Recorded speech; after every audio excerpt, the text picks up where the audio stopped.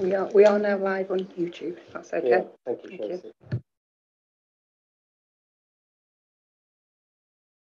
This on first? Um, good evening and a warm welcome to the Rushcliffe Borough Council's Governance Scrutiny Group Meeting. Uh, I would like to remind everyone that the meeting is being live streamed on YouTube. Uh, a recording of the meeting will be available afterwards on the Council's YouTube channel.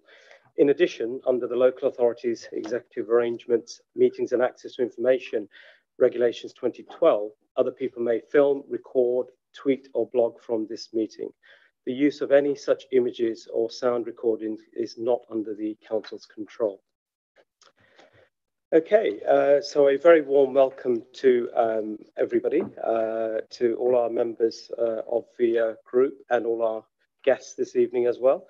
Um, welcome uh, Gurpreet, uh, Gurpreet Dillay, who's uh, our uh, from our council's internal auditors, BDO, um, and David, uh, David Hoose, who uh, is a partner from Mazars, our external auditors. Welcome this evening. Um, also welcome to um, our officers who are supporting us this evening. Uh, we've got the Director of Finance and Corporate Services, Peter, um, Sarah, uh, sitting next to me on my right, our Service Manager Finance, and also, what the name now? It's Katie, Katie Brennan. Uh, Katie, welcome uh, in terms of some of the items you're supporting as well. And also Tracy, who's uh, supporting us in terms of keeping us to time and making sure we, uh, we co cover the agenda. Um, also, welcome uh, Councillor. Oh, Charlotte, my apologies. And of course, Charlotte, who is with us this evening as well. Um, and uh, to my left, we've got Penny Gowland, Councillor Gowland, who's the Vice Chairman of the committee, Councillor Adair, uh, Councillor Sims, Councillor Beardsall, Councillor Butler. I think that's everybody, isn't it? So uh, a very warm welcome to everybody. And uh, we have a packed agenda, uh, quite a number of uh, items on today's agenda as always. Uh, so we will crack on. And uh, before we do anything else, can we take any apologies for all uh, absence, uh, Tracy? Thank you, Chairman.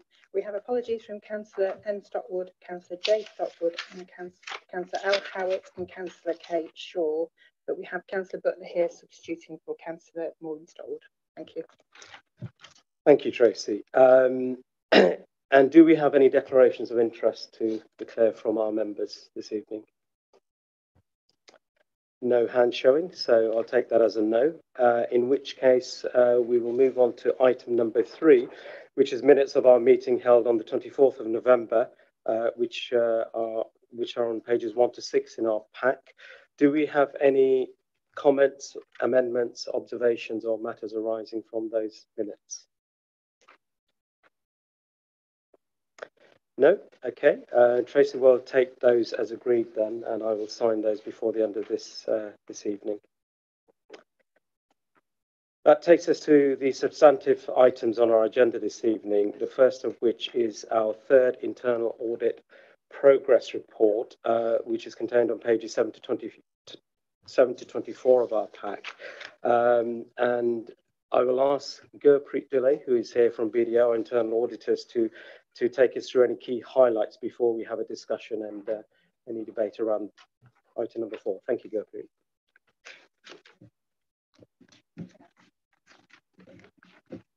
Thank you. Uh, so the first paper is our progress report uh, that's in the pack. So what this outlines is there is one report that's been issued to this committee around main financial systems, a really positive report, and I'll go through some of the key highlights in a moment. Uh, there are four reports which are uh, in draft safeguarding sustainable warmth project management and channel shift. Uh, our overall KPI uh, is to have all reports issued and finalised by the end of March. Uh, we're on track to do that. We're hoping to probably get one more to this committee. Unfortunately, we didn't quite get there, but we're on track to make sure that they're all done. And obviously, for the next committee, you'll have our uh, head of internal audit opinion as well, uh, along with those. And there are a couple of those reports um, that are kind of in the reporting stage, um, and so they should be finalised. Uh, should be finalised soon. So from an overall progress point of view, you can see the table which is on page 16 of the packs, and really positively, pretty similar to last year. Everything's coming out as moderate and substantial. Obviously, we issued a substantial opinion, our head of internal audit opinion last year. Obviously, we'll talk with management in the coming weeks as to where we might be with that opinion, but we're not going to be far off probably where we were in the previous year. It's it's been very positive this year as well. Uh, but that will be a discussion for the next uh, for the next committee. So the report that we have issued was around main financial systems. Uh, so we've issued a substantial, which is our highest opinion on the design of controls, and then also on the effectiveness. You'll see on the uh, on the scope, it sets out the different areas that we reviewed, particular risks around general ledger risks around access, um, accounts payable, and then also access control risks as well. You'll see on the following page, which is page 18 of your packs, uh, some of the strengths that we've identified. So the council have a financial regulations document. It was reviewed back in February 2022. It's up to date, uh, and we were content that that's uh, sufficiently uh, robust. Uh, and when we looked at areas such as accounts payable, as it notes further down the page, um, payments were made to, from the transactions that we've looked at to suppliers within a good period of time. Um, sometimes it does it can be an indication of uh, challenges where payments to suppliers are made, but they're taking a lot longer. We weren't identifying that from our testing, and so actually the design in terms of financial regulations through to are they being approved effectively and actually paid on time in terms of accounts payable. We didn't find any significant concerns with any of that. We do have three low level findings, which are on page 19, uh, summarised there. I think previously the committee talked about also seeing the management responses. So we have that in the right hand column uh, on page 19. So there's, there's three low findings. I'll pick up on a couple of them. Um, when we did our testing of uh, transactions on the e-financial system, uh, it shouldn't be the case where somebody is a requisitioner and an authorizer. There's only one case where that was where that we, we identified that. I think someone had changed roles and um, uh, it hadn't been picked up that they had both. Relatively trivial because actually the transaction was entirely appropriate. The rest of our testing didn't identify concerns, and management will implement a checking process just to see uh, if there are any uh, other individuals with that. But we're we're content that that's a, a low level finding. And then also on procurement cards, we feel there's probably some guidance or reissuing of guidance to individuals on the internet just about what is eligible spend and what isn't. We didn't find any concerns with transactions we had seen, but I think actually reinforming people and just expanding on that guidance as to what uh, is and isn't allowed. But again, um, there are target dates there and we'll be following those up um, through to this committee. So overall, we didn't find um, particular concerns with the financial systems uh, substantial opinion on uh, both. I'll pause there on the progress report because then the separate paper is around um, the internal audit strategy, but that's probably a separate item. So I'll pause on uh, on that for now. Thank you, Gurpreet, for that uh, overview. Um, I'll open the uh, uh, open it up to the floor for members in terms of any questions for Gurpreet or any observations on the internal audit progress. Councillor Beatle.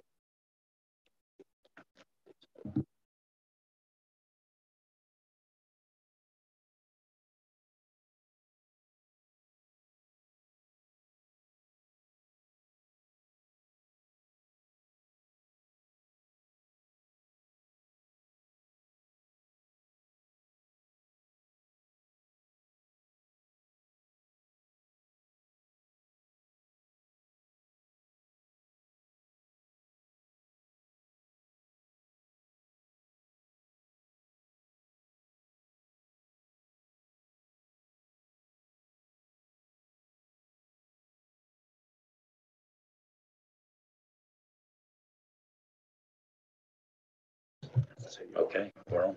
Okay. Uh, right. So yeah, my question is to the officers. There, I see that there are timescales put in on those um, three actions. Uh, are they now implemented? Those actions, because I think the implementation date was the thirty-first of Jan. Yeah, I, I, can briefly pick up on that. So to this committee, we issue a follow-up report. It wasn't due for this one. We issue it twice a year. So to the next committee, there'll be a follow-up report um, so all of those actions will pick up and then um, report on to this committee. So management have confirmed that they would have it done by the end of January. Um, we will be following up on that. We do focus on high and mediums. Um, I, will check back with my audit manager whether we look at lows. I, I, I, don't think we do actually. I think we look. Oh, we, we do pick up on those. Yeah, on the last okay. one we have, we've got lows okay. at So to the next committee, it will then show, we will go to officers, and say, can you confirm and show us the evidence that that is done? And then we'll report to this committee which one of those are complete or not. It just wasn't due for this committee uh, around this time.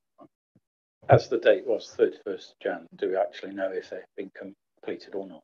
Yes, we have completed the management um, responses. So we've had guidance and um, also a lot of them, the checking that is in, in place now to check that those things are done.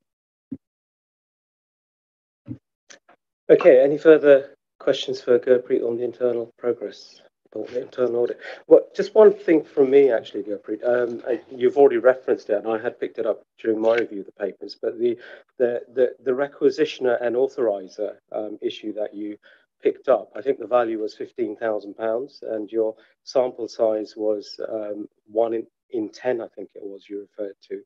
I mean, I, I know you said it's trivial and, and the system wouldn't normally allow it, but in, in the event of uh, uh, an unscrupulous, you know, member of staff, and if they were able to bypass the system, and there were 10 incidences where they could actually do that, that doesn't, you know, it does equate to a large amount of money. Uh, yes, and, and management might provide a comment on this one as well. There are other controls within the authority, such as budget management, uh, and in budget management meetings, if somebody went and did that, somebody would see that this has gone over what the budget was for the year. So there'd be other controls that would identify if somebody was doing that. Uh, obviously, we have a good sense of the authority's control environment, and so if, if that did happen in this one, we've looked at the the reason for the spend, and actually it's sound, and you can see that I think it was a change in staff members' role, and therefore it's just been missed off.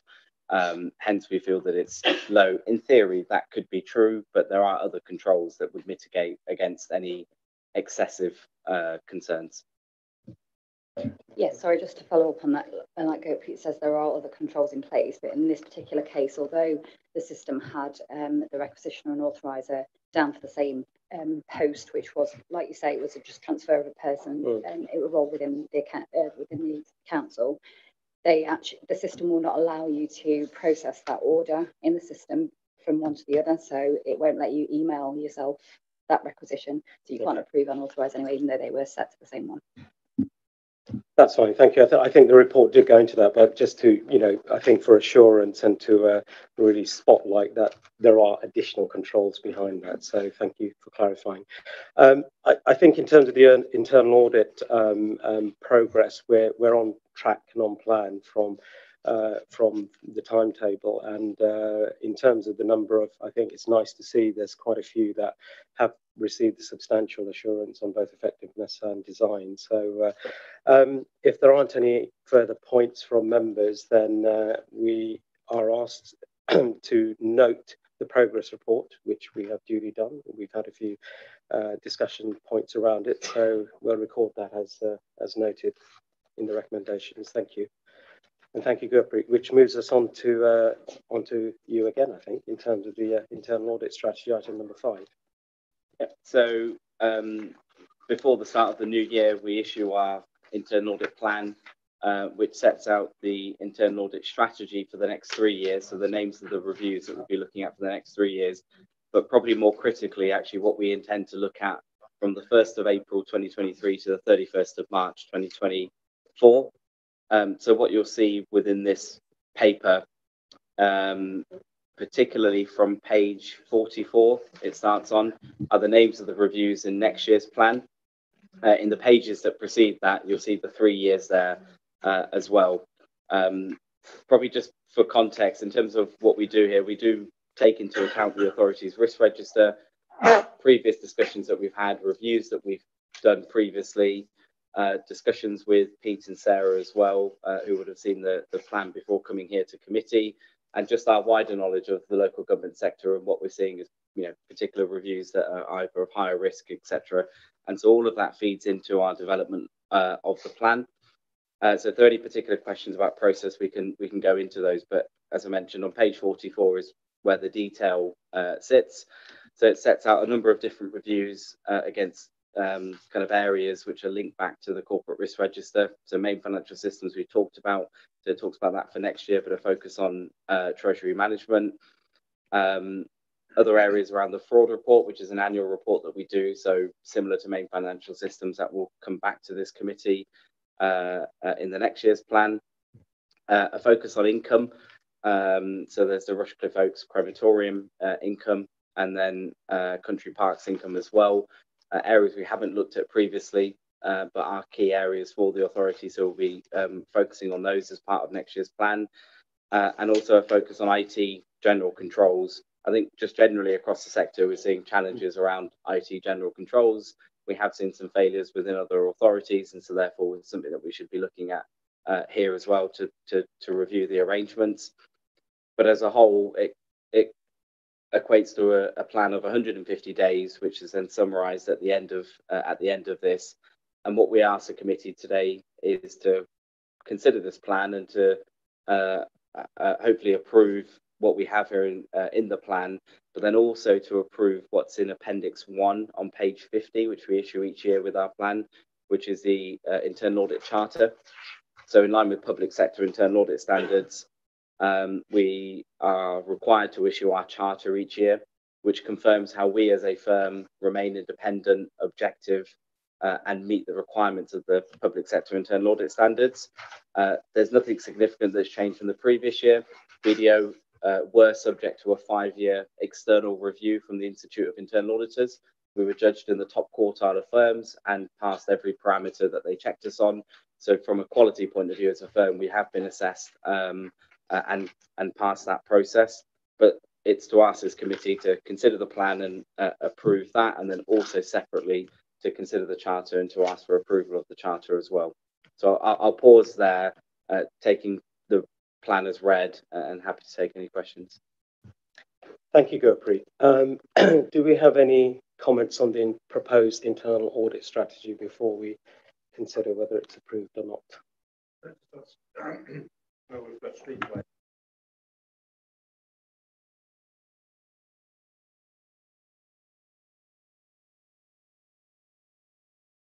It's a very good question, Councillor. I had it on my list as well, so maybe I don't know whether the officers or Gurpreet wants to reference that, but it's something I had also noted in terms of uh, uh, it has come in house. Obviously, I think it was September last year, wasn't it? So, in terms of the bedding in of of um, that sort of function within the council, is that something we will be looking at, and and to to what level of detail, Gurpreet? I suppose is the question.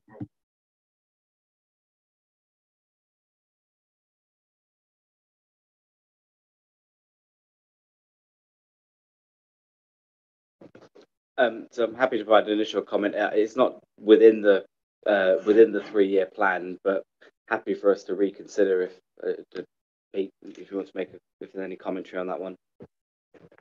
Yeah, the obviously streetwise. In, in terms of how we report on the success of streetwise, we're doing that through financially is through the budget. So when you look at the budget papers at full council next week, um, you'll see in the transformation program we've got a, there's a two hundred thousand pound target for Streetwise to in terms of generating additional income. So it sort of manifests itself in the budget, and then in terms of the performance obviously when we do our the performance aspects of the of, of, of, go to COG, so we have the finance performance report that goes to corporate overview group, then there should be some performance indicators that would relate to Streetwise, and so that's how in terms of the governance surrounding that. Um, I suppose really it's whether it's, it's not in the program at the moment. It doesn't mean you know we could look at adding something in uh, if members are, are minded, or alter, the alternative is it could be it could go some to scrutiny. Could be a scrutiny review of it, or, or scrutiny reports. There's different ways because when we look internal audit doesn't necessarily cover everything. What we're trying to do is cover the main risks to the council where we can. Um, the program. One thing I will add as well about this program it is whilst it's not not necessarily set in stone anyway, even now, you know, if something happened during the year, uh, then things can change. So there's there can be some ebb and flow depending on uh, circumstances. Um, so so there's different ways that streetwise can be looked at. Internal audit's one of them, but really the, the if you like the control in terms of its finances and how how that's impacting the council and its performance is really through our normal governance process of finance and performance reporting.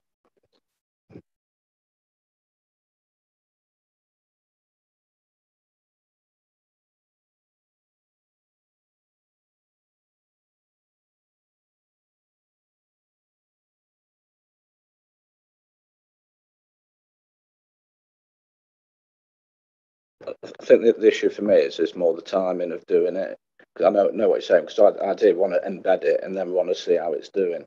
So we're in the early stages. It's probably whether it goes in this year, it might be perhaps better for next for, for the following year once we've seen a you know 18 months and it's we can see the progress.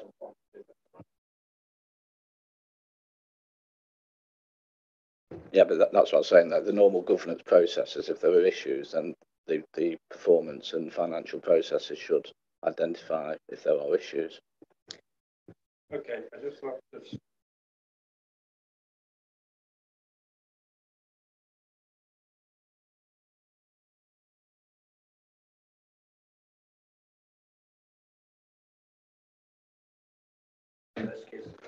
So, so sorry, because because this is, whilst it is predominantly focusing on next year, there is a three-year aspect to this. So yeah.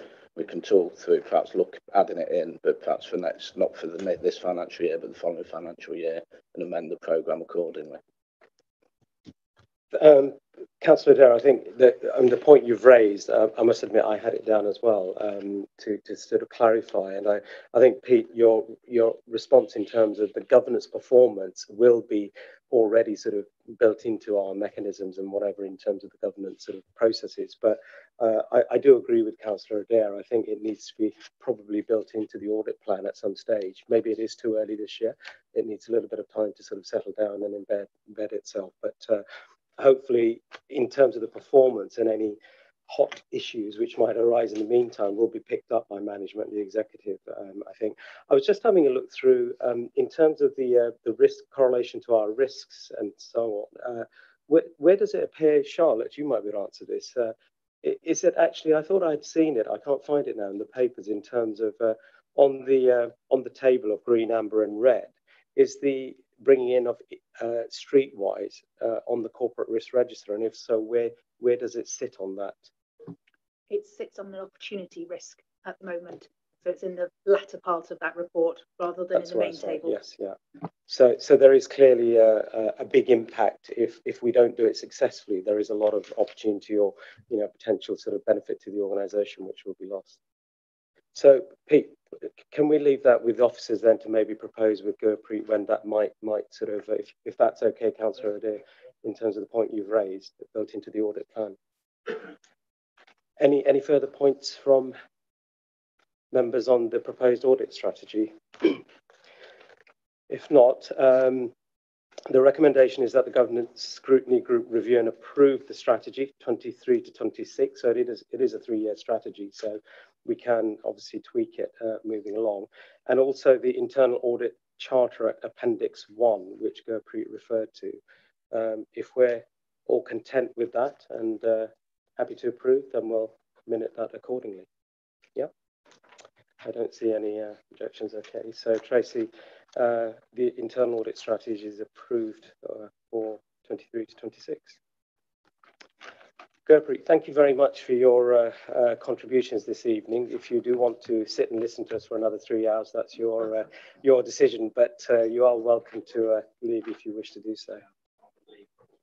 Oh, are you? Okay, so you're, you're going to start your leave early. Okay, thank thank you very much, and enjoy your leave. Okay, uh, moving swiftly through the agenda, then um, it brings us to our external auditors and David um, in terms of uh, the annual audit completion report, item number six, but we do also have the approval of the financial statements uh, as item number seven. So happy for you to maybe combine those in terms of your, your presentation or uh, overview to us, and then we can take them as individual items in terms of the discussion. Thank you, Chair. Uh, I'll, I'll, certainly talk to agenda item six, our reports. I suspect the financial statements themselves probably better coming from officers. So I'll give you uh, the headlines from our report. And I'll also give you an update on progress since the report came out for your papers two weeks ago. Um, so actually the, the, key bit to the document, the executive summary, which is page 63 of your pack, sets out where we were, sets out that the audit when these papers were issued was substantially complete. Things have progressed nicely since then, and I will update you on that. And the headlines are there really. The important thing is we expect to be in a position to issue an unqualified opinion on the financial statements. So that's the that's the key point. And whilst our work on value for money, the second opinion we have to give isn't complete yet, At this stage, we've identified no significant risks, so we don't expect any adverse reporting on value for money either. Page 65 of your pack sets out what was outstanding at the time the papers were issued. You will see the main issue that was outstanding was just between ourselves and management working through an issue around some accounting for some infrastructure assets. That's subsequently been resolved. Uh, it will give rise to 1.4 million of infrastructure assets being written off. They relate to car park resurfacing assets, um, where one element of the resurface is in one bit of the balance sheet, the car parks themselves are in another. So there's a little bit of a mismatch. Uh, and that infrastructure assets piece, which again I'll talk about more broadly later, will also identify some infrastructure assets that probably need shifting into other areas of the fixed asset pot. Not wrong, they're not wrong, they're just misclassified for this year. So no suggestion that the accounts need changing. That's something that will be picked up going forwards. So again, infrastructure assets, um, for those of you who've heard me talk in previous meetings, has been a hot topic for the whole of the sector this year. And that's largely why we're sitting here in February with the accounts still not signed off because the sector as a whole paused audit opinions until infrastructure assets and accounting for them could be worked out. Uh, certain local authorities identified major issues with infrastructure assets. Yours was not one of them. Um, so actually, in terms of where we are in progress since this report came out, saying to Peter before the meeting, my expectation is now we'll be in a position to sign accounts next week. So things have things have progressed very nicely from our point of view. The rest of the paper chair, really, section four takes you through those key risks that you'll have heard me talk about when I saw you with the planning document last year. And again, gives you clean bills of health other than the infrastructure point that we've talked about uh, and identifies an issue there with uh, pension scheme valuations. And again, as Peter I think says in his covering paper, another issue that was completely outside of the council's control. This is an area where you're sitting waiting for Grant Thornton, who are the pension scheme auditors, to finish their work so we can place reliance on their work on the pension scheme numbers. And that was late in arriving in the course of the year. So two things there that really held up the completion of our audit. And similarly, when Grant Thornton finalised their audit of the council's pension scheme, they did identify significant errors in the assets of that pension scheme, which then had to filter down into the valuation of your share of those assets. So again, a couple of repercussive items really outside of your control that delayed the process. Um, and then really, Chair, other things to note, sections five and six are sort of intrinsically linked, really.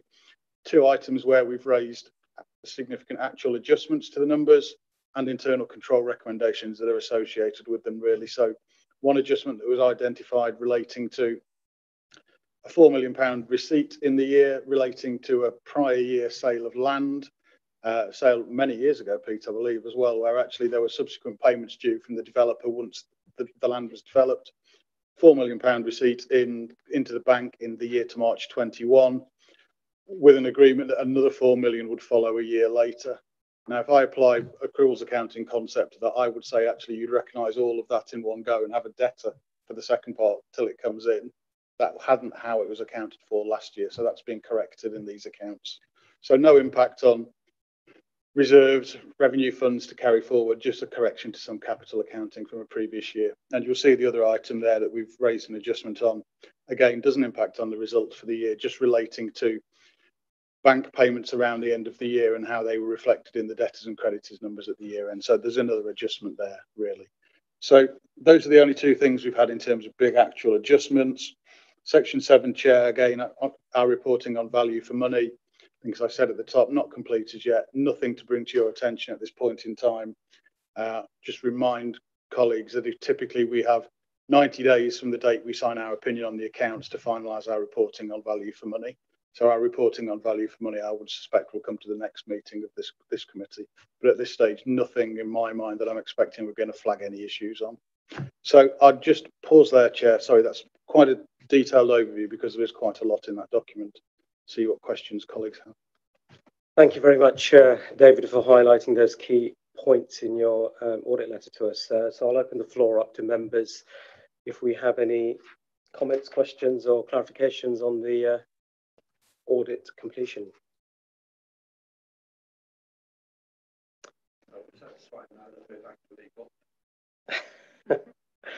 I, I, I mean, I, I, I, was actually going to ask the question, David. I'm glad you've confirmed it's going to be next week in terms of uh, actually being able to sign them off. But it, it has been an ongoing issue, I think, in terms of recent years with the, uh, I think we had an extension to November uh, and then was it March? Uh, no, not March. Um, I'm getting confused now. There was an extension to November, but what was the deadline post November then um, if we hadn't signed next week? There is no formal deadline thereafter. No, November is the target, if you were, the deadline that the sector likes to apply and wants to achieve.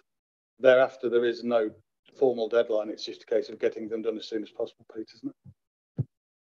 Yeah, that's correct. Actually, we are in a fortunate position because there are a few councils that have still got 2021 accounts to sign off, and mine 21 22. So uh, um, I was talking to Section 151 colleagues earlier, so they're, uh, I think they've got a few more issues than, than we have, shall we say.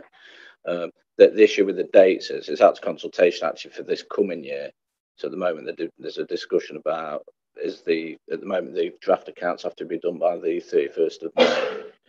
Um, so there's consultation whether that will stand, and then similarly, I guess whether the September date's still going to stand because there are still issues, sort of you like labour type issues with with you know if, if the auditor's got the resources, for example, to actually complete audits, particularly for those areas where those accounts are one or two years now are you know behind, and Richard Cook, as you can imagine, trying to audit something that's two years ago is even you know harder than a, one year ago in terms of, of because often with the the staff that were involved have perhaps left those authorities as well, which creates more issues. So uh, um, I think the issue, the challenge for me for this year is hoping that we can. I mean, I'm hoping we'll sign off by the end of September.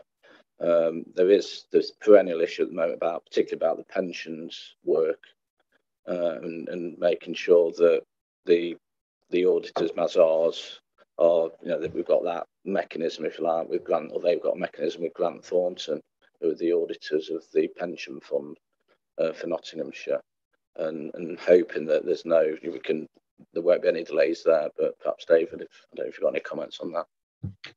I think it's something we continue to work quite closely with Grant Thornton to make sure they deliver and meet our timetables because we are wholly dependent on them. Um, clearly, with the changes to auditor allocations going forwards, the one thing I can say is that won't be an issue from 24 onwards. Yeah, just to explain what David means by that. So from 24 onwards, Mazars are also auditing the pension fund because they've taken on the county audit. So hopefully those, if you like that potential, well, I suppose it is a barrier at the moment, that that should hopefully be removed. I think, Pete, where we have that in other parts of the country, where we know that other audit firms are wholly dependent on us to audit pension schemes, pension schemes get our primary focus up front. They're the, the audits that we get done first because they they impact on so many other audits happening. Councillor Adair, does uh, does that give you assurance uh, in terms of future? Uh... Thanks, Pete, We're here.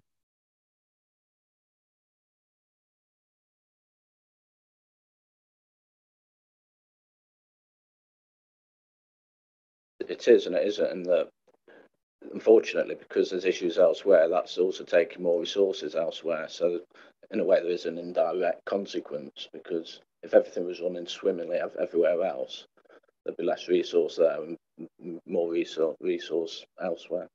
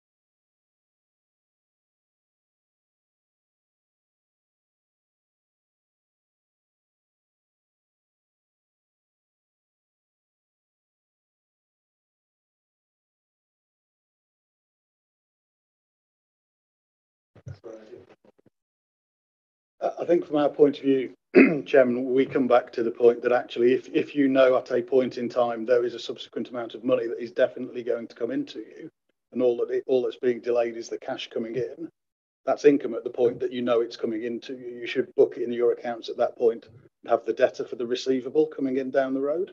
So the cash flow doesn't change. It's just the accounting period that you recognise the income and the debtor in. But we have we have resolved. Yeah, we, we we did have a difference of opinion, and um, I suppose I took a, an approach that I made my point and and decided to uh, agree with the auditor and move on. I think, Chair, we, as Peter said, we had a full and frank exchange of views, how we call it that. Um, and I think effectively, I, I, agree from Peter's point commercially. Um, unfortunately, I have an audit manual to follow that says this is material and therefore I needed it to be made as a, a prior period adjustment. I must admit, I took our Section 1, 151 officer's uh, uh, perspective as well, but uh, I have noted the uh, comments in the uh, letter. So, uh, just in terms of materiality, where, where does that fit in terms of the amount?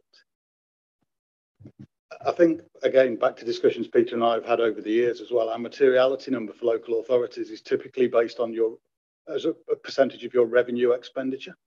So for Rushcliffe, because you don't have a housing revenue account, actually your expenditure number is relatively small compared to other local authorities. So our materiality number is relatively small here for a local authority. So that four million pounds is five or six times material to me. So it, it well, wasn't fractional. It, it, was a loaded question because I think you, you know materiality is seven hundred ninety nine thousand, I think, which is two percent of OPEX. So uh, it far exceeds that, which is why I asked the question. Okay. Um, any further comments on uh, on the uh, councillor Butt?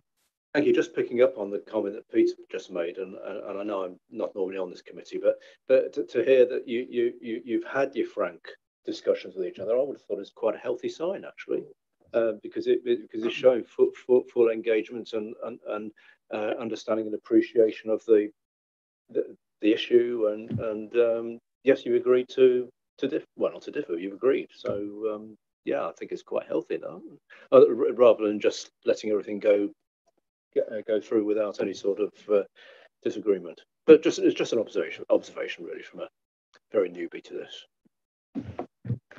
Thank you, Councillor Butler, and uh, I could have kept very quiet about that, but I think to, to credit to uh, uh, Mazars, uh, David, and uh, Peter, yes, I, I agree with Councillor Butler. I think we've we've had a good discussion and resolution of that. So, okay, if there are no further comments on uh, on the audit completion um, report from David, uh, we are asked to uh, approve the findings of Mazars audit completion report, uh, which was in Appendix A, approve the management representation letter, Appendix B, um, and see, receive at a later date a follow-up uh, in relation to the uh, significant matters arising, which will which will make its way to us. So, if we are happy to approve all of the above, yeah, okay, thank you very much.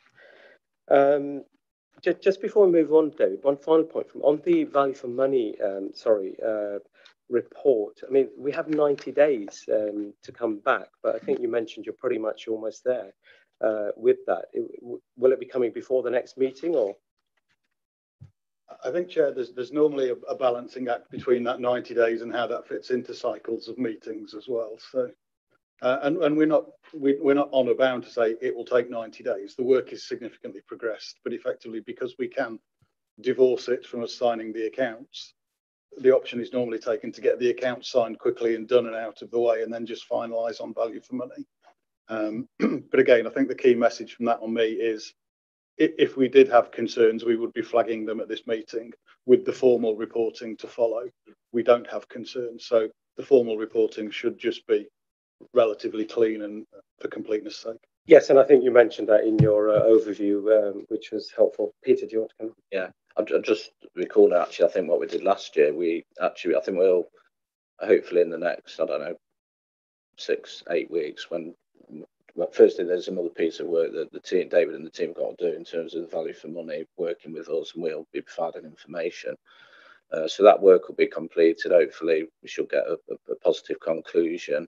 And then when we do get the report, we will circulate it to the, the group members in any case as soon as we get that report, and then bring it to the June, I think it is the next meeting. Uh, so we'll be bringing it to that meeting. Um, I suppose the the um, although the so the makeup of this group is going to be slightly different, but uh, um, but we will bring it to that meeting. Thank you very much, David, uh, for the uh, that item. We move now on to item number seven, which is the approval of the um, financial statements. So I will ask our officers here, I think Peter or, and or Sarah, to take us through this one. Thank you, Chair. Um, obviously, David has already covered um, most of the key issues that that are present in this year's account. So the main ones being the delays, which are referred to in paragraph 1.3, and also the prior period adjustments in 4.7 and 4.8, which just give a bit more detail as to the reasons behind those. You'll be able to see in the statement of accounts on um, the uh, CIS, the comprehensive income and expenditure statement, and the main statements in the accounts, that where those adjustments have been made, there is an additional additional column so that you can clearly see what numbers have changed from the previous year. Um, there obviously are also the two adjusted misstatements that David referred to, um, that changes have been made. And then at paragraph 4.9, there is a summary of the salient points from the statement. So it basically just gives you an overview of the net revenue surplus, the transfer to reserves, the collection fund reserve transfer of 3.179 million, the creation of the vehicle replacement reserve, it gives um, details of the overall net budget variance, the value of the investments held at the 31st of March, 67.785 million, which is up from the previous year. It details the overall earmarked reserves balances and the general fund balance remaining at 2.604 million. It also then summarises the main areas of capital expenditure and gives the business rates position for the, for the fund at the end of the year and our respective deficits. Talks a little bit about Rushcliffe Enterprises and gives the value of the um, contribution of the statement of into the statement of accounts from Streetwise, and also talks a little bit about the major service developments so that you can clearly see from that Freeport and Bingham Hub, the crematorium, digital by design, and carbon reduction measures and summarises that we're under significant financial challenges at the moment. So obviously it's a um, moving feast and we have to make sure that we are um, prudent at all times and that we balance our reserves to remain healthy. Obviously it's a rather large document, so that's, that section does sort of summarise it quite um, succinctly. If you've got any other questions on any other points, we have done some training, like we said, this evening, so it might be that you have any questions in there, but they are the main points. Thank you very much, Sarah. So uh, I'm sure all members have read uh, 300 pages of our financial statements. I'm expecting lots of questions uh, this evening. So who wants to kick off? Councillor Adair. Councillor Adair.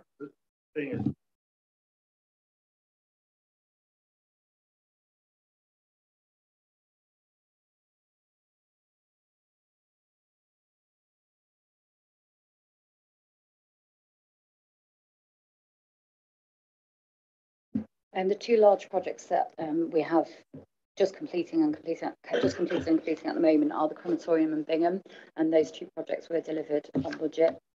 And obviously, going forward, any projects that are um, in the appraisal stage at the moment, and when they go through the tender stage, will be at current prices. But we do factor in in our revenue budget elements of increased inflation. There's always a risk with inflation because we can't see where it's going to go, but we do um, budget as well as we can with the um, the knowledge that we have with a forecast based on our treasury advisors and where we think the market's going to go. I mean, we do. You touch actually almost the, the part of the agenda, the council agenda, when we talk about the budget, because obviously there, there, there is risk surrounding inflation. There's no doubt about that. Uh, although we do, we, we do have contingency within budgets, and also we have reserves to deal with those sort of issues. So in terms of, if you like, the financial consequences, we're we're well well stocked in being able to deal with inflation as it currently stands. Thank you, Councillor. Any any further questions on the financial statements? I just, I, I, sorry, it's remiss. I mean, I just want to thank David and the audit team. It has been and and also the accountants because it has been a quite a painful uh, audit in many ways, not least because it's it's the audit started in August and it's just finishing now. I mean, they haven't constantly been here. You do have to do other audits as well, um, but uh, but it is because it lasts for so long. It does put a lot of strain. I think strain on the auditors, to be fair, but also but I'm particularly bothered about the strain on the staff, and uh, and, and, we do have to, uh, you know, I, I, do try and um, try try and um, keep them calm at, at certain times, uh, and, uh, and, and get some balance to that. And uh, um, I don't, I don't think David won't mind me saying David's not going to be. This would be his last meet, I think, with us. Um, so I'd like to particularly thank David uh, for his work since since he's been here over the last few years. Uh, thank you very much, um, um, Pete. And uh, just before I make any closing remarks. Uh, one point I do want to raise, actually, just going back to the accounts very quickly, um, and it's not not really an issue, but it's interesting. I think I noted on page 106 the summary. The pension fund changes for 14.2 million has obviously increased our net worth, but clearly that's not something that's going to happen every year, Pete. Um, so I'm just wondering in terms of in terms of the balance sheet and balance sheet sort of movement and uh, so on. Um, what, what do you want to share anything with us in terms of where we think that's going? Because you know, saying net worth is up 14 million this year is fine, but if it's a, result of a pension fund adjustment, um, you know, that's obviously an exception. Yeah, if, if you look on page 135, um, you can see there's a graph there uh, which demonstrates that he the position with uh, net worth and position with uh, pension liabilities and long-term assets. And broadly speaking, there's co- correlation, but whilst it's there is an upward tra- trajectory, um, the pensions figures do vary massively dependent on the economy and issues like COVID impact on life mortality and things like that.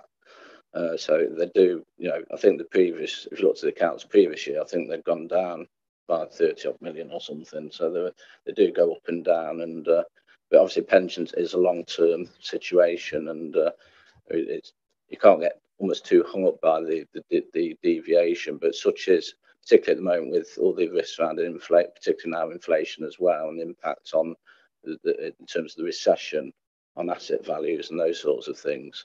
That's why, as David mentioned, the issues with pensions. One of the reasons we had to have another report was due to some of that, if you like, even now, short-term volatility uh, that's occurring. Um, so.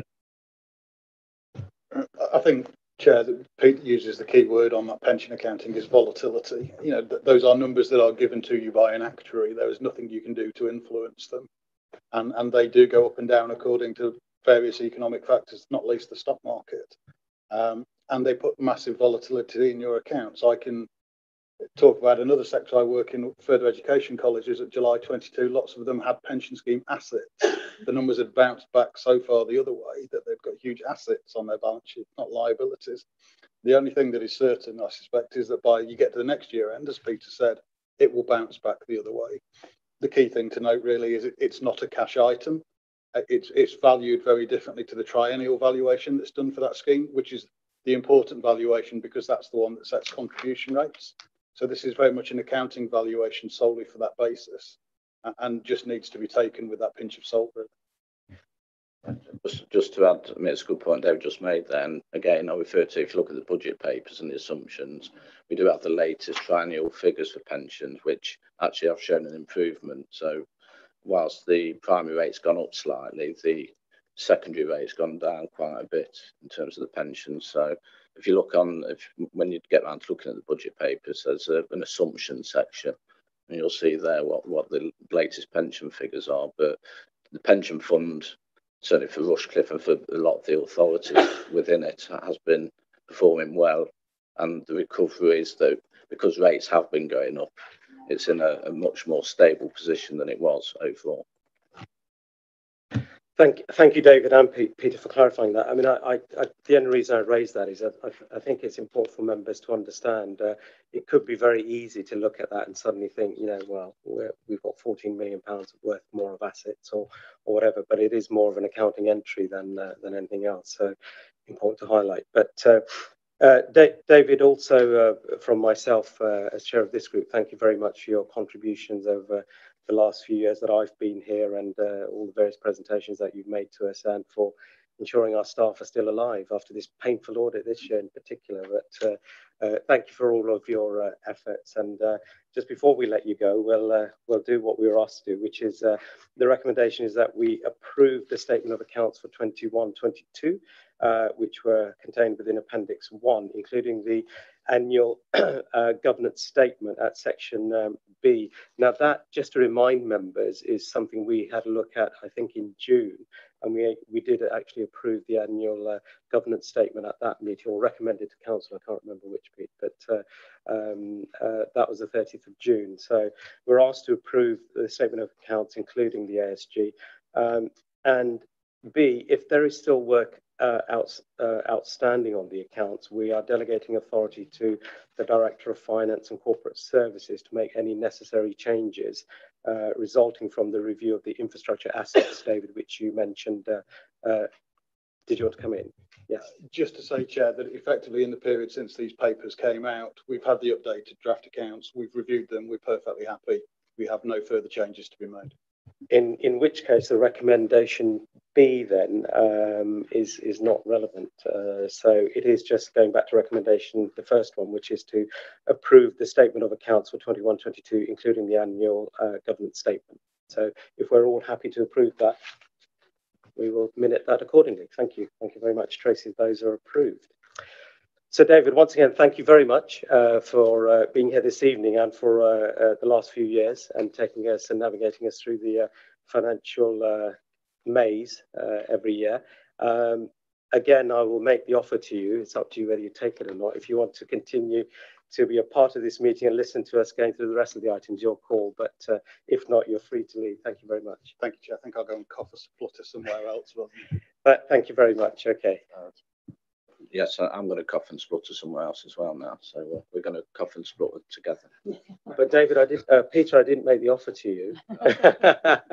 no, I know you did. You did mention it earlier on. So uh, yes, do carry on. Thank you.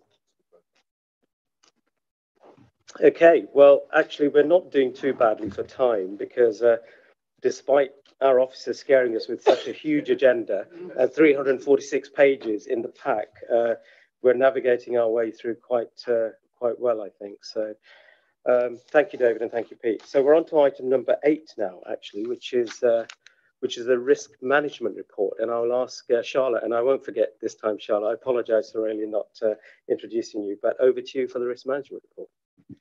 Thank you very much, Chair, and good evening, group. I shall hopefully hurry you along on your agenda speed through. Um, this is your standard report, so you get this one twice a year. Um, the basis of which is to report on risk management activity um, since your last meeting, and that was in November. It has a summary of the changes made to the risk register by the internal risk management group, which is our executive management team. And it states that the current risk register has 41 corporate risks and 27 operational risks. It also includes four operate op opportunity risks. Um, Appendix A contains the risk registers. There are no new risks to report this time round. One risk has been removed, and that's in relation to Bingham Arena, which has been completed and opened. Um, one, risk, one risk has increased, um, which is a loss of income in our planning team due to variations in the number of applications coming through. And three risks have decreased um, failure of partnerships, failure to safeguard children and adults, and violence to staff. And that is because of changing circumstances and um, greater levels of internal control over those aspects. In terms of the risk register, we have seven red risks. Those are our highest rated risks. One of those is Streetwise, which Councillor Verdi mentioned earlier on, which is also an opportunity risk. And I'm more than happy to answer any questions that you have on the risk registers this time round. I'll hand the floor to our members. Councillor Beardsall. Um, on page three on the risk register, I'll show you on my phone actually. They've got impact reduced two to one question marks, but no risk or anything identified. So I'm not sure what that is. I hadn't spotted that. Thank you very much. Homes for Ukraine. I'm making a note. Okay, fine. Well spotted, uh, Councillor and Yeah. Contrary to popular. lots of question marks highlighted in yellow. I must admit, I, I thought I'd gone through the report in quite a lot of detail, but I didn't pick that up. So uh, it's because there's lots of other colours, I think, in this particular item. That's why it's a bit off-putting. But uh, do we have any any questions or points to raise with Charlotte in terms of the current report? Councillor Sims. Previous, uh,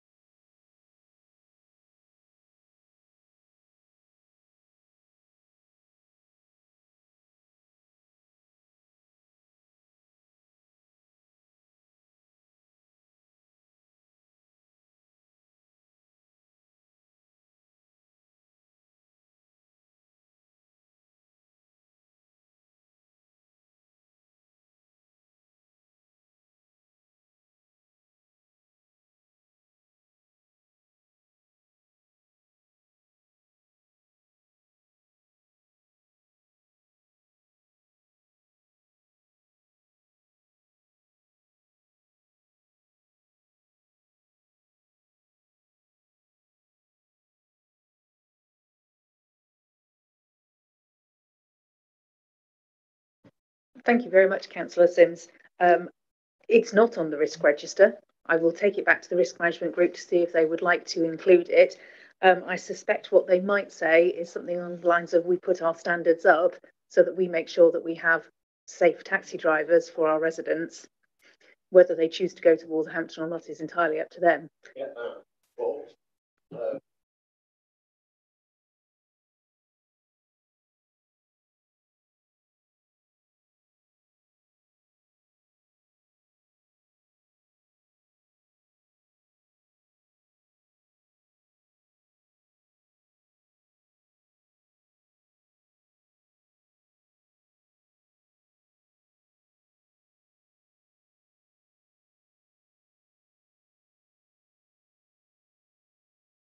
I just Sarah. Yeah, sorry, just to add in there, um, I do recall the um, issue that you're referring to, that I don't think it's a new, it's not a new um, process. I think it's been available for a long time for taxi drivers to be able to go to other districts and, um, and other councils to get their, their licenses.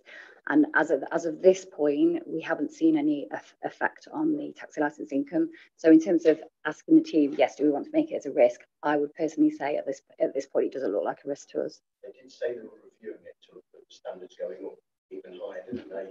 Councillor, so you were there, you spoke about it. Yeah.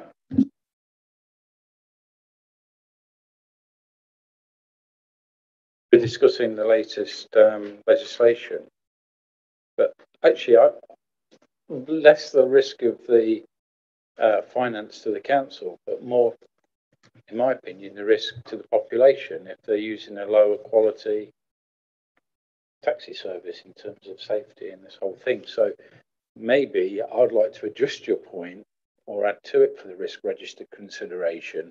Because if if we've got external taxes that are bypassing Rushcliffe high standards to use a lower, easier standard to obtain, surely that's a risk to the people using the taxis in Rushcliffe. So perhaps it, it should be considered on that basis too. Um, Sarah, do you want to come back on that? And then I think Councillor Gowland yeah, wants to come in as well. Sorry, I was just going to make the point, the point that you make there is like the enforcement issue, I guess. So you've got um, taxis, you can't stop which taxis come into Rushcliffe or any other part of the, the district. But what we can do as a council is focus our enforcement. So I know sometimes they go out on night um, assessments and they'll, they'll pull taxis over and check them and make sure they're safe. So that's, I guess, where our approach would be in terms of, because there's nothing else we can do, I guess, with where they actually get their license from. But unless it's on the risk register being reviewed, then we don't know and you don't know. So, so just before I bring in Councillor Gowland, I, I, I think Charlotte, you're going to take this away and just consider with officers and staff what what options we have, and then maybe we can come back uh, with that. But Councillor Gowland, you wanted to come. Only really small question. How many taxis do we license? Not information I have to hand. I don't know about Sarah. No. there it is.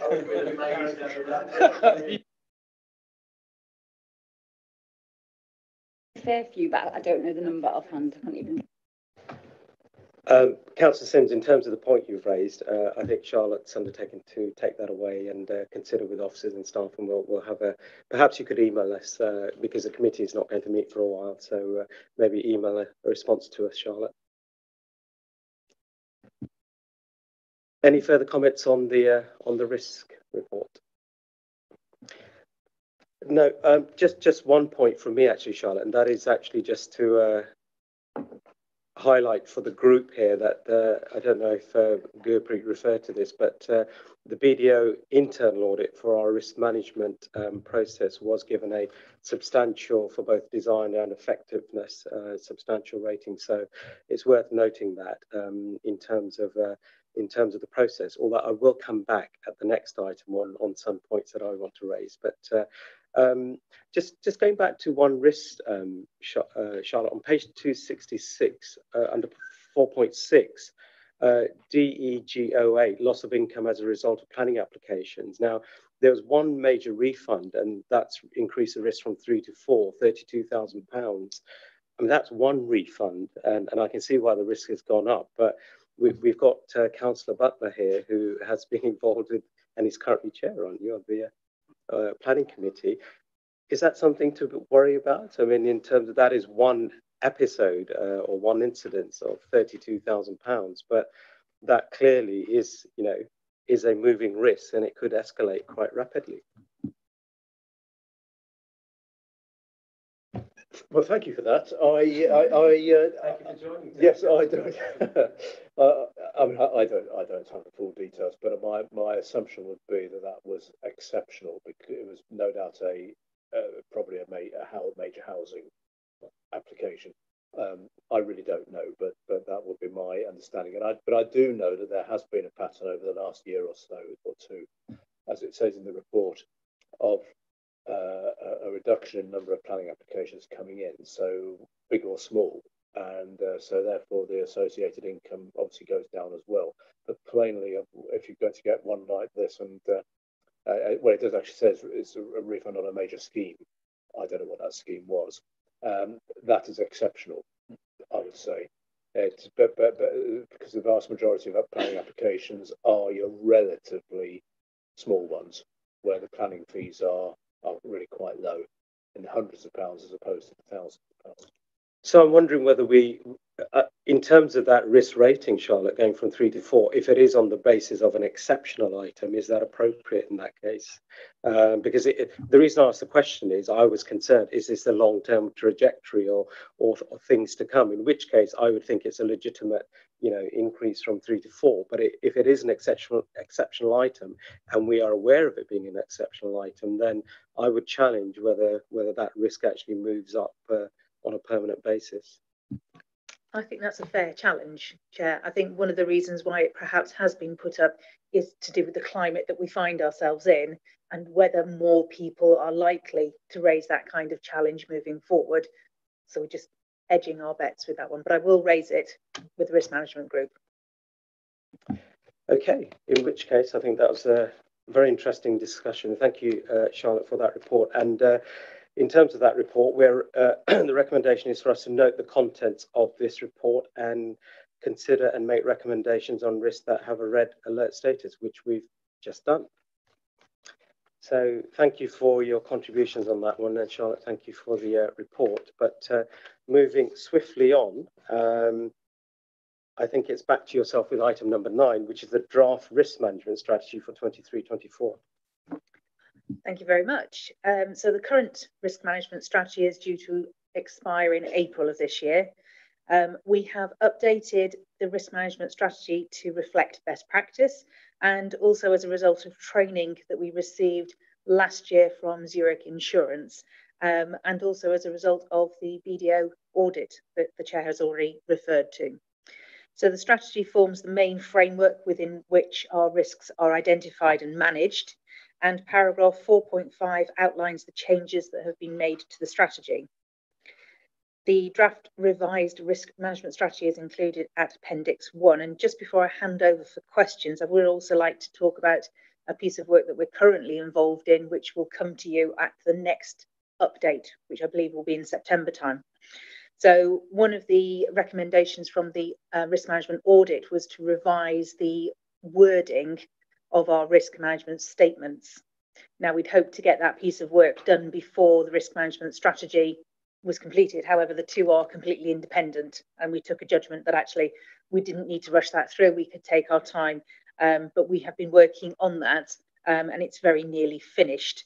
So the what you see in September time, in comparison with the last report that we just delivered, is likely to be a little bit different.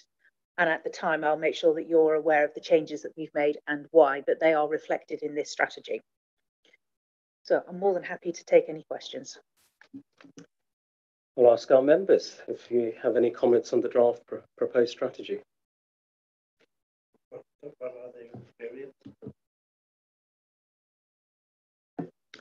Paragraph 4.5 um, just follows the things that have been changed. So um, more comprehensive introduction, explanation of our risk management process, um, reference to the recent training from Zurich and the BDO audit, um, reference to Pentana, which is the council's performance management system where risks are collected and, and managed, information about the monitoring and review process for both risks and the risk management strategy, and alterations to the roles and responsibilities to reflect the management structure changes that were made in 2021.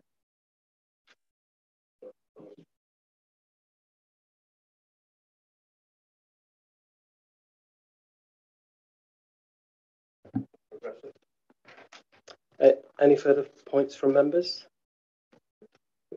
In which case, I'm sorry, Charlotte, but it's coming back to me. I've got I've got a few very brief points. Um, on page 287, 1.3, there's reference to a funding uh, reserve. Uh,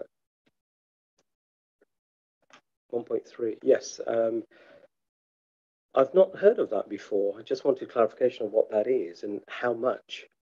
So 1.3 in the strategy on page 287, I think it is.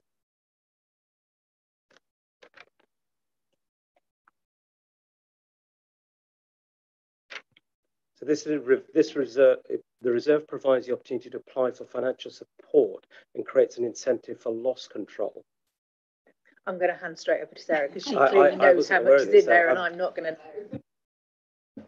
Okay, you are right. Um, and you'll see this in your statement of accounts pack as well. Um, we have a risk and insurance reserve that sits currently sits at 100k.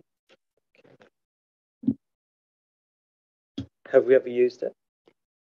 Good question. Um, I don't recall ever using it because we do have, as Charlotte refers to in the report, we have sort of funds built into our insurance premium where we can draw on the expertise of the in insurers to sort of give us a bit of extra training, and that's what we've done in the past. But that is there for sort of, I guess, more large scale risks that we want to address. Okay, thank you, thank you for clarifying that. Um, page two eight eight, the risk, um, the risk management process. Um, the, the the draft strategy refers to first, second, and third lines of defence, and that's through the the performance clinics that you have, the uh, risk management group, and us as a group, the governance scrutiny group. So we meet every three months, and I think the uh, risk management group every two months, if I if I recall in the report. Um, I'm not so sure about the performance clinics un unless they're part of the executive management team uh, meetings, which are, I presume, are well, I, I, I think they're monthly. the question I had, Charlotte, was just I, I, I, was wondering whether the risk management group needs to meet more frequently because, in my experience, uh, you know, risk management, I know you do it on a real-time basis as officers and staff and so on, but that formal government structure in terms of those lines of defence, uh, I'm questioning the frequency. That that's my point here. Okay, so just to clarify a few of those points. So performance clinics, so this is our first line of defence. I like the way that you described that. Um, those are done bi-monthly, so every other month. People like Sarah and I, service managers, will sit down um, and challenge each other, report on various risks, performance indicators, tasks, and such like, and that's looked at collectively. That then goes up to our executive management team, directors like Pete and Kath, um, and they will look at that as well and challenge us back regularly. The risk management group, which is um, our executive management team sitting with a different hat on, um, for want of a better expression, they meet twice a year. So they get the report that we've just looked at, the same frequency that you do. But because we look at the performance clinics on a bi monthly basis, if there are any concerns, and if there are any changes to risks, they are looking them on also on a bi-monthly basis. I think that if there was anything significant enough to warrant a risk change, alteration, new risk, or whatever, it would be picked up at executive management team and rolled through the process. We wouldn't wait for either of those two points to do it. As it is, because it's live and because it, it operates in the real world, it's constantly changing what you get is a is a snapshot every six months. Okay, no, and that's fair enough. I mean, uh, you know, all, all, organisations work in a different way. I, I raised that in a way because I recall at a previous meeting, and I think it was possibly Councillor Sims or Councillor Beardsley who, who was quite keen to ensure that we were on a real-time basis looking at operational risk. And the, the register which comes to us here is, is a as comprehensive as it can be. And I think you provided that assurance then. And and having seen this proposal for the you know strategy moving forwards, um, uh, that's why I raised it. But I think you know the, the three lines of defence. It's good to see that in the uh, um, in the um, um proposal. But uh, uh I think frequency wise, you know, organizations do it differently and whether it's real time or not. My final point on this, and then I then I will move on, uh, is actually around the uh, opportunity risk area. Um, so looking at the terms of reference, um, page 294, 4.3, um, I'm wondering, well, I'm suggesting uh, it, including something very specifically around the uh, uh, opportunity risk uh, assessments that we do and having a proactive you know activity which actually looks at the realization of those so you referred earlier on for example to the um, which one was it now there was one that I raised. Uh, it was uh, streetwise. streetwise. Yes, you know, the, the, it, it, some of those can be quite significant amounts. So I'm wondering whether we include in the terms of reference in in this strategy something around something we could do proactively to, to monitor, manage, and take corrective or mitigating action for the opportunity risks, not just the, you know, the usual areas that we consider as risks. Sarah.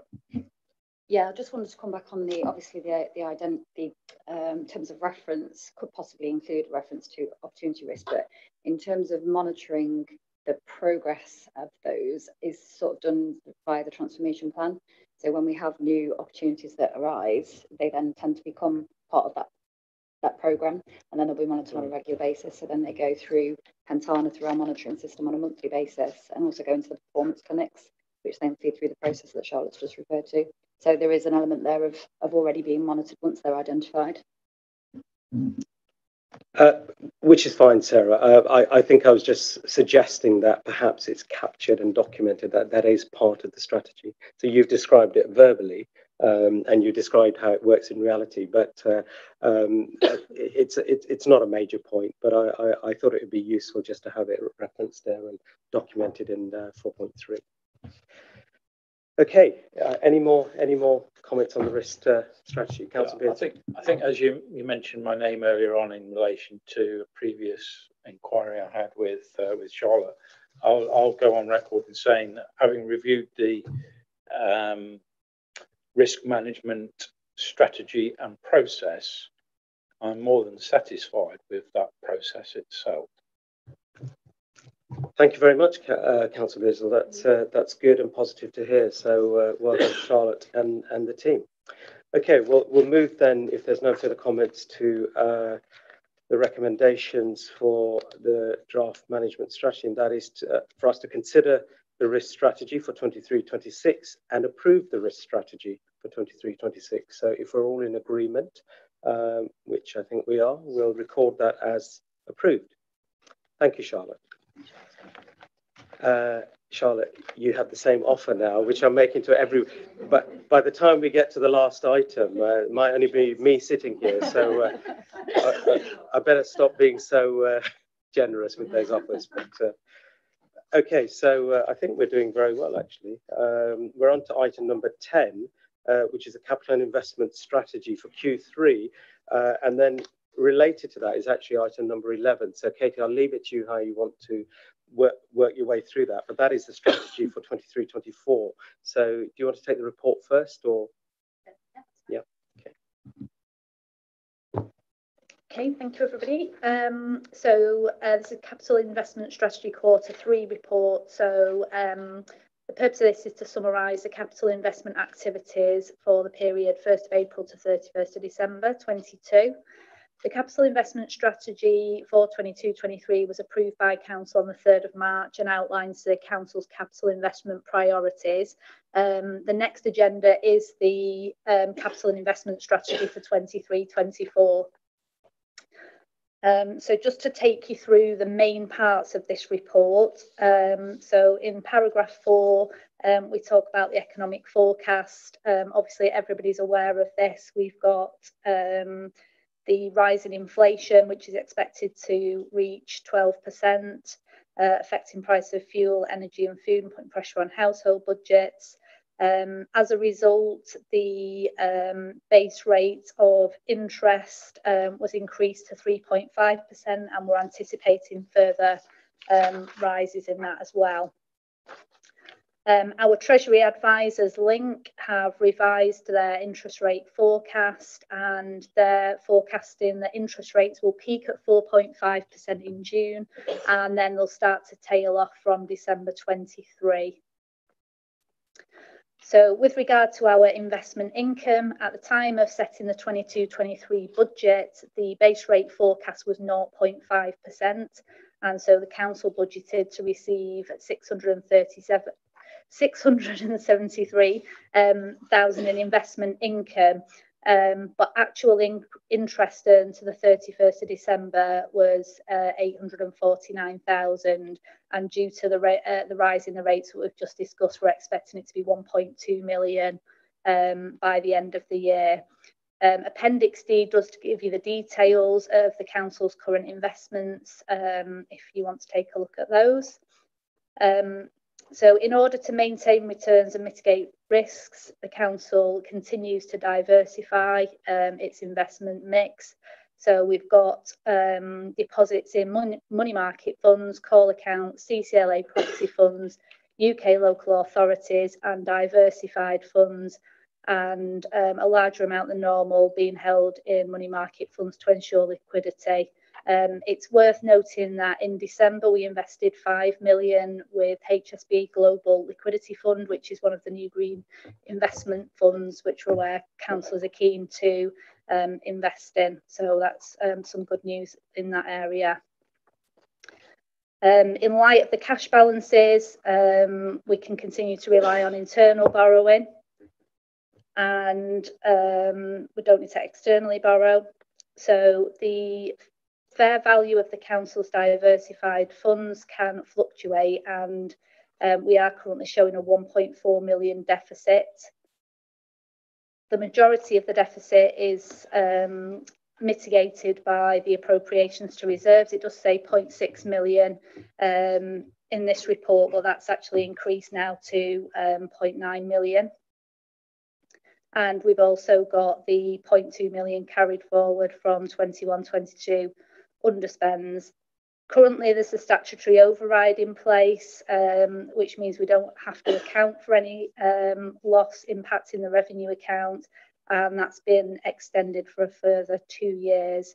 Um, but we are maintaining a reserve to cover that, um, being being prudent. So just looking at the indicators, um, obviously they um, are set out in the strategy. And um, the two that we've got is the liability benchmark, which reflects the real need to borrow. Um, and this is in Appendix B and confirms that we've got no need to borrow over the medium term. And then the net income from commercial service and investments to net revenue streams reflects the council's dependence on investments and the projected figure is lower than estimated due to changes in the operational start dates for the crematorium and Bingham, rising utility costs and favourable net revenue streams. Um, in terms of commercial investments, the council's target is that it shouldn't exceed 30%, um, and we're actually just under 20%, which you can see in Appendix C. And that's all of the highlights in that report. Thank you very much, Katie. Um, any comments on? The only thing I would question here is the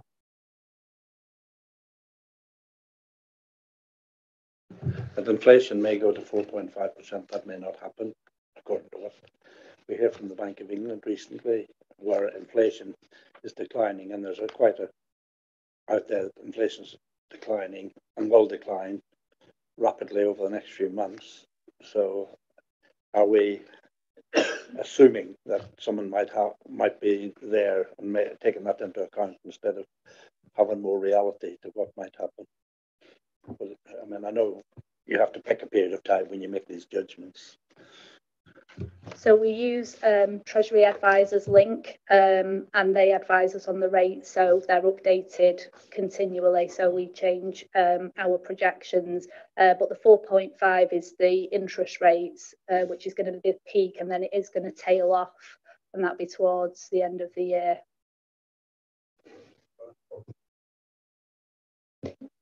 Um, 4% at the moment, and it's uh, projected to come down gradually, like Katie says, from 24 25. It will start to come down again by half a percent. This is what Link are proposing, so that it's back down to 2.5% by 27 28.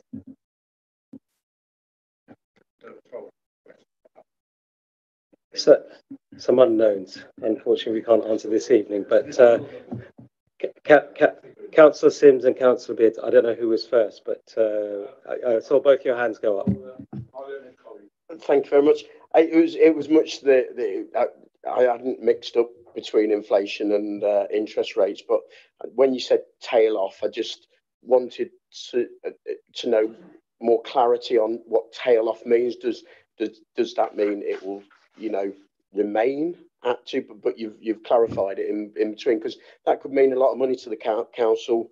You know, if it remains tails off, doesn't go up, uh, or tails off and goes down. You know, and that that's significant amounts of money. So you've just said it's it's forecasting 28 to be two and a half percent, which is fantastic. Thank you, Councillor Beardsley this is something I've raised before um, during these discussions, and uh, and I raise it again. And I think one day it will bite the council in the bottom. Um, we have no sight, and I feel personally very strongly about it. We have no sight of whether we're whether we've got ethical investments. We don't know at all. I asked the question, and there was never an answer in fact, the answer was we simply don't know. And, and I think it's an important issue. We could be involved in investment funds that are wholly not ethical from a point of view of the environment, from a point of view of uh, uh, slave labor, sweatshops, child labor, a whole range of social and corporate corporate responsibility of investment most organizations that I deal with, which are large international organizations, this is right on the top of the agenda. It's not ignored whatsoever. We are uh, an organization representing the health of the population, yet we do not know whether or not we have ethical investments. And I would like to suggest that we do know, we should know and investigate that because what are we all sitting here for? Saying we're making, yeah, Rushcliffe is a great place to live, yet we're investing. Our investment, maybe, we don't know, somewhere in in Africa somewhere where kids are running around digging radioactive material out of the ground with being abused, etc. I think I've made my point. Thank you, Councillor Beards. Sarah, do you want to uh, respond to that? Um, moving on to the next item that Katie will talk about, there is um, an item that has been in there for a number of years, point 39 um, in the strategy, that does focus on that we will not knowingly invest in those sort of activities. So organisations that we do put funds into, we do specify, and a lot of them now, particularly with green investments as well, do actually specify that they only invest in certain things. It's, it's difficult and it's not a mature market, particularly with the green side of things, to, to actually measure it. And if you speak to the experts, they'll say there is no um, key at the moment. So there's no no consistent way of measuring where your green investments are across um, across different investment portfolios. But we can only go with our we will not directly invest and then do the best we can in terms of where we the, the products that we invest in we read and make sure when we speak to our advisors we ask them and they feed back to us which organizations are openly stating that they don't invest in those sort of things, and then we invest along those lines. Yeah, do do we have a breakdown of, it? Do you have in writing? It doesn't. It, it just from what you've just said, there's some good steps being made in terms of, you know, you've got some green investments and the policy of not knowingly investing, to me, doesn't go far enough. It certainly wouldn't go far enough in the corporate world whatsoever. You need to know positively what you're investing in, not by default or exception that you might not know. I've made my point. So, uh, I mean, just just to pick up on that, Councillor Beards, so, and, and Sarah, your you, you know your reference to um, um, paragraph 39 in our um, proposed strategy. Uh, I think this has come up once or twice in this group before, um, and you know, I I, I note the um, the reference to we would not knowingly and so on, but uh, I, am just wondering: is is is there a way, or is there something um, we can look at in terms of consciously trying to um, you know identify where our investments are being made. Um, I know it's not easy, uh, and I know we have Link and we have um, those firms who do this for us. But um, perhaps the action here is to uh, is to go away and think about proposals or options where we could take on board what Councillor Beardsall is saying, because uh, this has come up once or twice before, and I, I, I think you know, we can at least have a look at what options might be possible. Councillor Sims, do you want to come in? Yeah, I th- I th- this could go on. I, I agree with Councillor Beardsall totally. I don't think as not knowing is is a defence. Um, as often is said in, in lots of areas of law, ignorance isn't, isn't a defence. I think um, we, we need to be mindful of the risk as well to not investing correctly because it could leave egg severely on the council's face if we are found out by whatever means a good investigative journalist or whatever that we're not investigating uh, investing properly and we are talking the talk rather than walking the walk um, the other thing that i wanted to go on to was councillor was saying ethical. Now one person's ethical is another person's you know to drive a petrol car is not ethical to some people and you should have an electric car.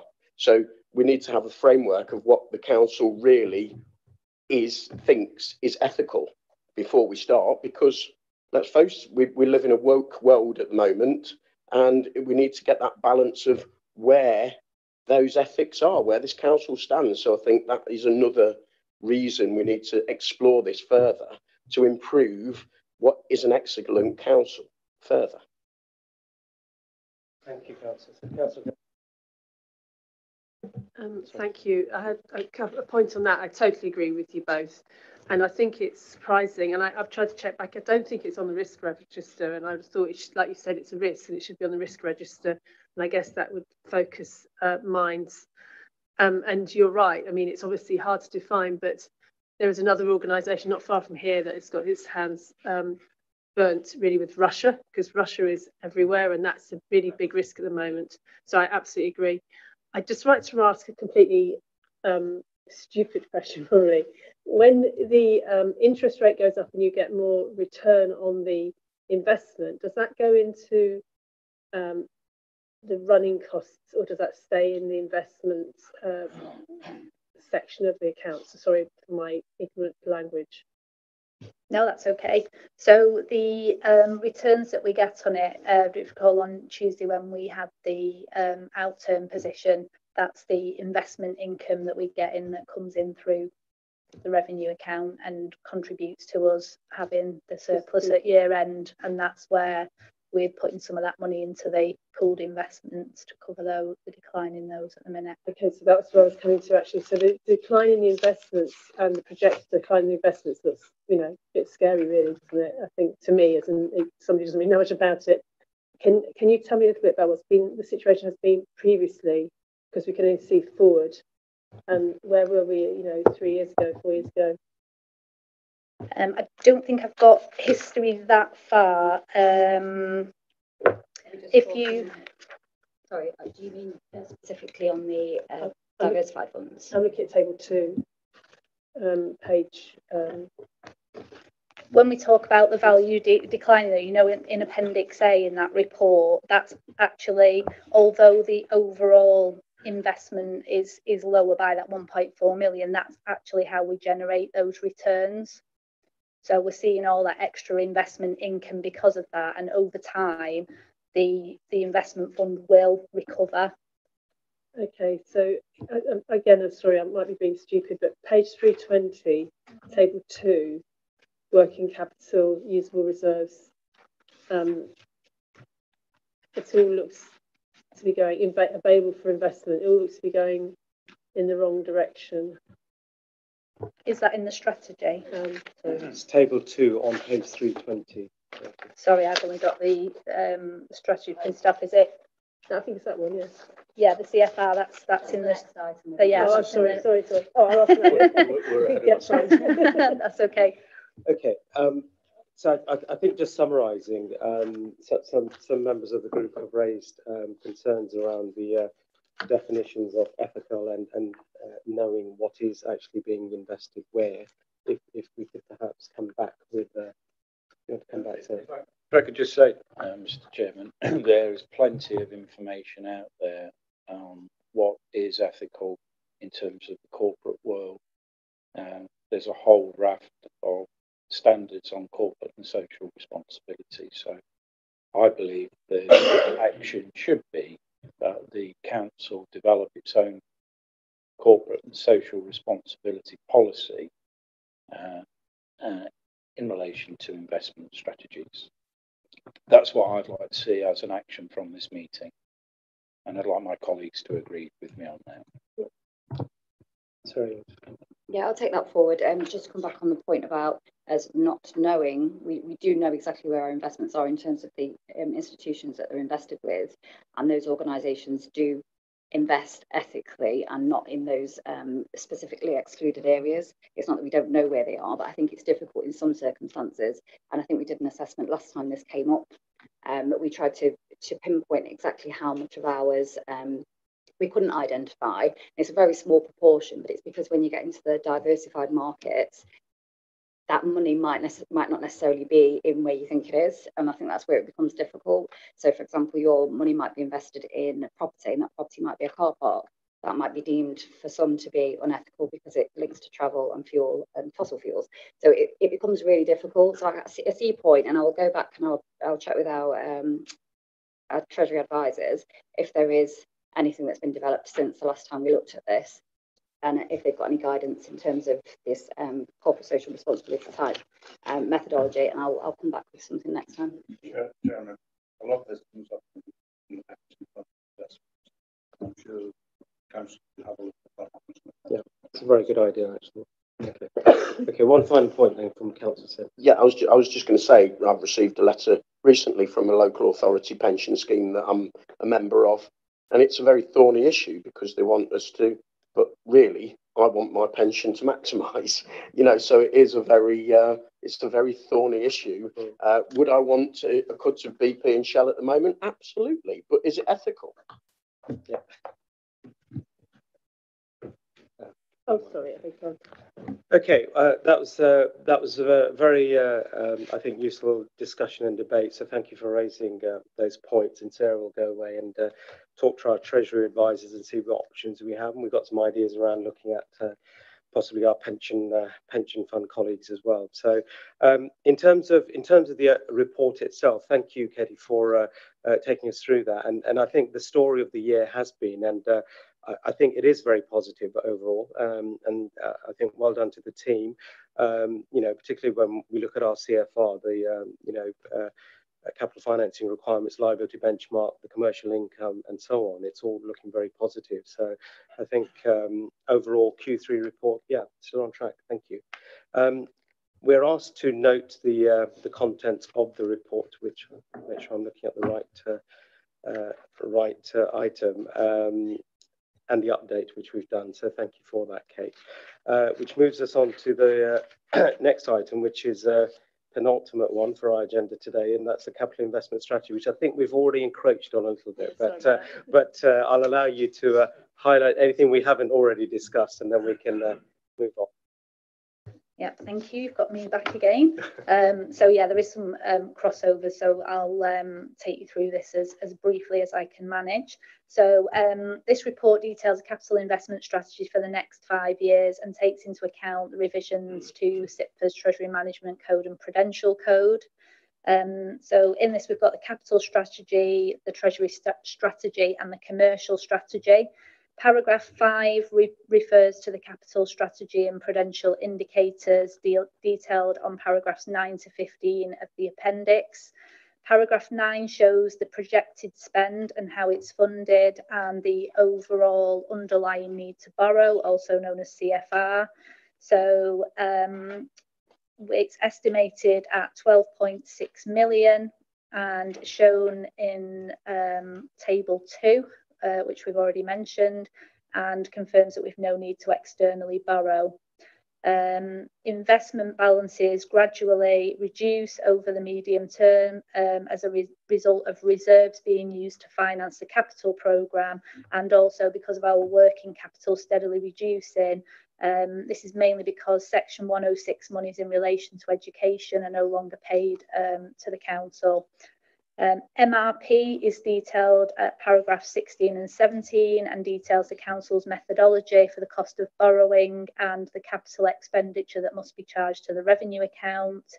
Um, we've also got VRP, um, which is voluntary revenue uh, provision, uh, which can be reduced or removed in the event of financial crisis. From paragraph 18, um, the appendix details the Treasury strategy, the key points in this um, again talks about the economic climate and business rates um, set to peak at 4.5% before falling again, as we've already discussed. Um, paragraphs 28 to um, 31 details the borrowing strategy, which sets our limits um, for debt, basically the maximum we can borrow, and the operational boundary Paragraph 33 details the new indicator, um, the liability benchmark, which we've just seen in, in quarter three, reflecting the real need to borrow. And again, as we've said, illustrates that the council has no need to borrow over the medium term. Table six, um, paragraph 35 shows a proportion of financing costs to the net revenue stream, um, which shows the affordability of the council plans. Again, we've just seen that in the quarter three report. The proportion fluctuates um, in 23 24 reflects the rapid rise in the interest rates and the downward trend in later years reflects a reduction in MRP payments um, in relation to the arena. Table 7, paragraph 6 um, shows the new indicator again that we've just discussed in quarter 3, looking at net income from commercial and serviced investments as a percentage of net revenue streams. It rises over the medium term, reflecting both rent increases and the crematorium. Table 8 shows the projected investments ranging from approximately 53 million in 2023 decreasing to 41 million. Investments fall over the medium term as resources are used to fund a large capital programme and as we said section 106 money is reducing. Paragraphs 50 to 53 look at the current investments. Uh, paragraph 53 details the 15 million held in pool diversified funds, which account for 65% of the council's interest receipts over the past three years, but can be um, subject to fluctuations in capital value. Um, TM limits are set for the purpose of minimising risk. Treasury limits are set by the credit rating shown in Table 9 and table 11 at paragraph 56 sets limits on investments by group. Counterparties are approved by the Treasury advisors and these are shown in Appendix 1 and tables 12 and 13 show the limits on interest rate exposure and maximum investment over one year, which is set as 50% of the sum available for investment the last part of the strategy is the com commercial investment policy, which is from paragraphs 67 to 81 and covers our investments that are primarily for financial gain. Um, as um, PWLB borrowing is no longer permitted, um, there aren't any plans for commercial investment in the capital programme. So this section is only relevant to the existing commercial investments that we have. Um, the key indicator in this is um, the council's reliance upon the commercial income. Um, the limit set at 30% and we've just mentioned it's around 20% in reality. Um, paragraph 76 covers the risk exposure indicators and depicts how our investments are diversified across the sector in order to minimise risk. Uh, the financial environment is facing economic uncertainty and it brings the risks which are covered in the body of the strategy. Uh, by setting and following the prudential indicators and managing risk through setting limits and diversifying investments, the Council has set a robust um, capital and investment strategy. And um, some of you did attend the Treasury training by Link and um, will have noticed the endorsement by Treasury advisors um, of our proportionate approach to both our Treasury and commercial property investments. Paragraphs 82 and 83 cover the importance of both member and officer training, and that will be provided again later this year.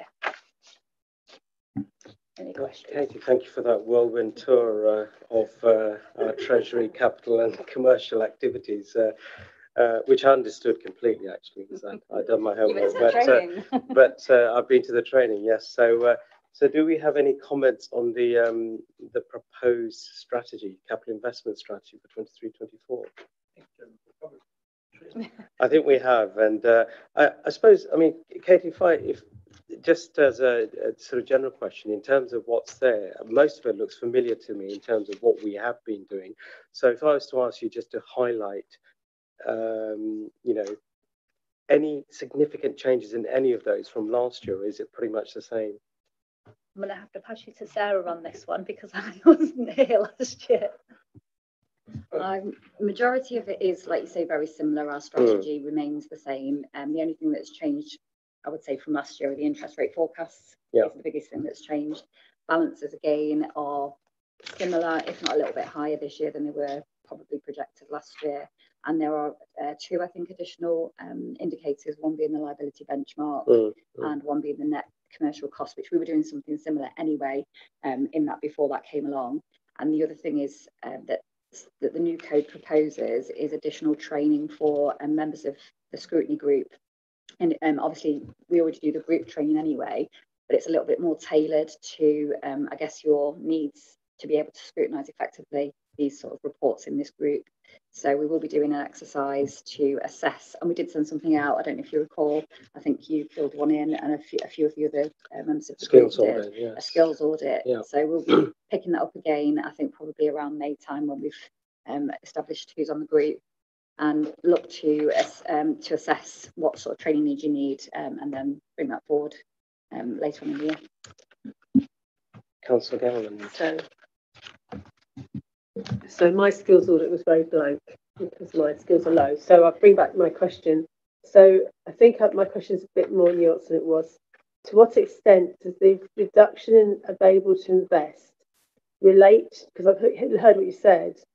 Does it relate to, you know, reserves being moved into assets like Fulton Leisure Centre, or does it relate to reserves being moved into running costs?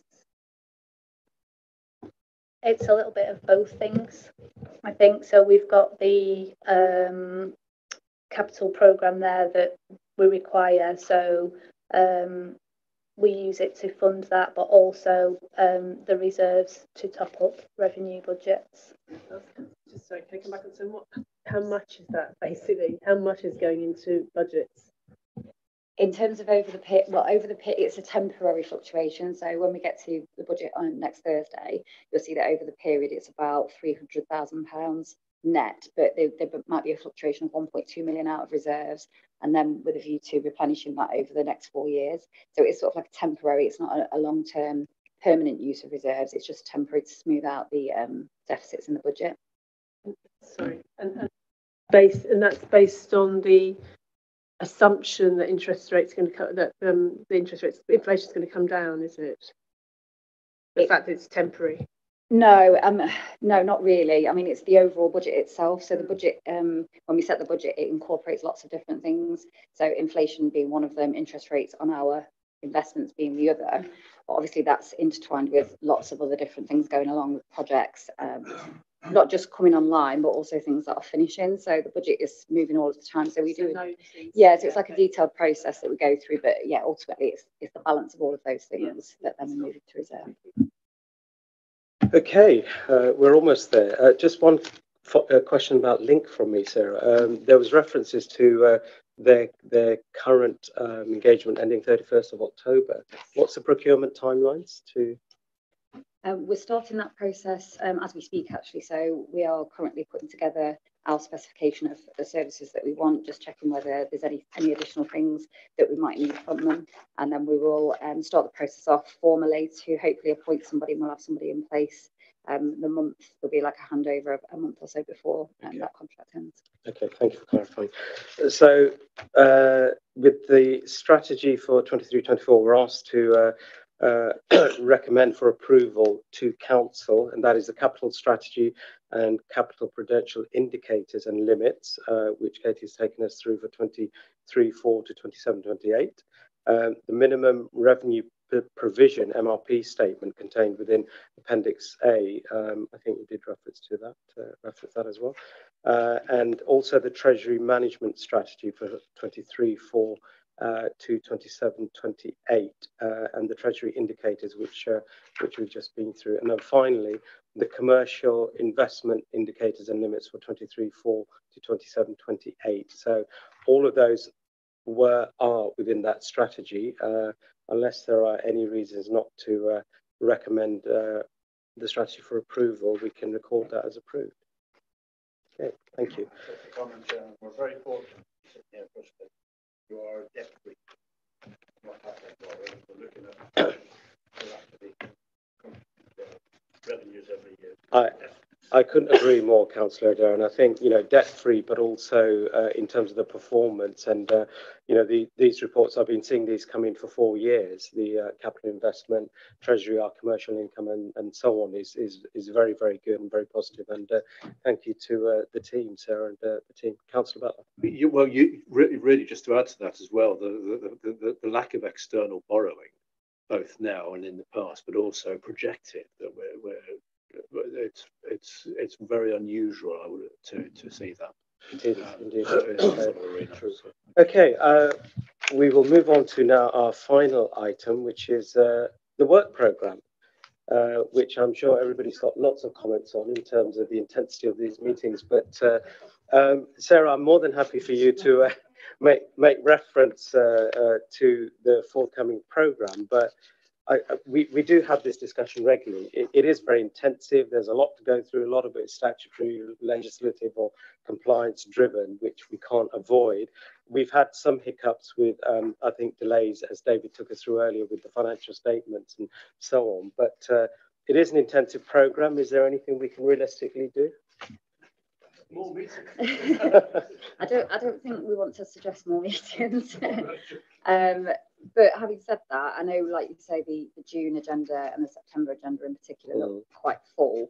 Um, tonight's agenda was abnormally large, um, particularly because of the delay in the um, statement of accounts and the audit report, which we would hope won't happen again this year. But having said that, even with those items in, we've still sort of done it within normal time frames. So, so whilst they look like sort of rather large agendas, a lot of them, like you say, they sort of can be taken together on a quite standard walkthrough mm. items um, that you're used to seeing and shouldn't um, potentially take up as much time as what it looks like on paper. Um, the only thing that I will say is that as with this year, if the um, consultation that's currently out for the closure of accounts is extended, the audit um, deadline is likely to also be extended, which means that statement of accounts is unlikely to go in September, and that will probably bump to November, which um, is, the, is the lightest workload yeah. anyway, so, so it wouldn't be a bad thing. Yeah. Um, that's probably all I would comment on at this point. Just okay. the fact that also there is um, capital investment strategy monitoring now is quarterly. Mm. We started it last year.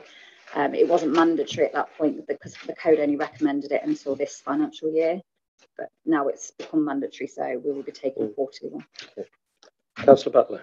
I think as an observation on that, obviously in June it will be very soon into a new council with with new people for all sorts of reasons. So uh, uh, uh and and I, I, agree with what you're saying actually the, the the type of reports and items you got on here shouldn't be too onerous. And also, if anything, they could be because you will have new people on this committee.